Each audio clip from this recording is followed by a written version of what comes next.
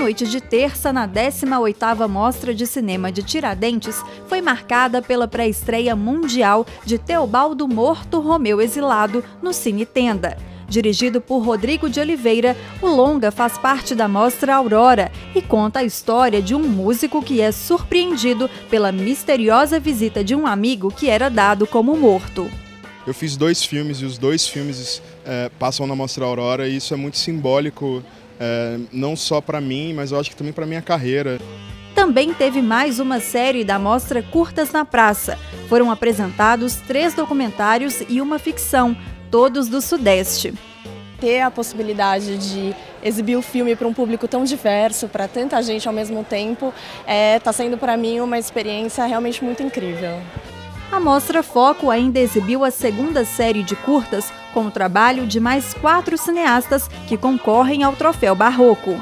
O principal desse festival de cinema, sempre Tiradentes, é de ter essa troca com o público, com a crítica, com, enfim, de ter muita gente assistindo e poder ouvir, né, como que o filme chega nas pessoas. Na quarta-feira, as primeiras atividades foram dois seminários no Cine Teatro SESI.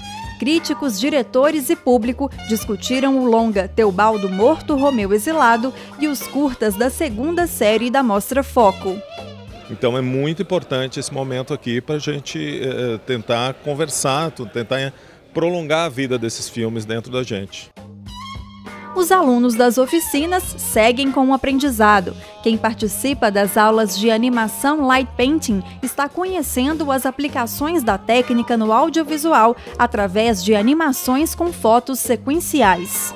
A animação com light painting é uma técnica nova da animação é uma animação feita com fotos em longa exposição e desenhando no, no ar com lanternas, no escuro. Mostra Sui Generis exibiu a pré-estreia mundial de Errante, um filme de encontros. Logo depois, teve bate-papo com o diretor Gustavo Espolidoro, uma oportunidade para o público saber mais sobre o filme. Um festival muito importante para esse cinema mais de autor, para esse cinema né, que busca outros caminhos aí, né? A série 5 da mostra Panorama abriu os trabalhos no Cine Tenda. Foram apresentados curtas de Minas Gerais, Rio de Janeiro, Bahia e Pernambuco. Para a gente que era universitário até outro dia, o nosso filme foi nosso trabalho de conclusão de curso. Então é uma oportunidade tanto poder estar exibindo o filme aqui na Mostra de Tiradentes.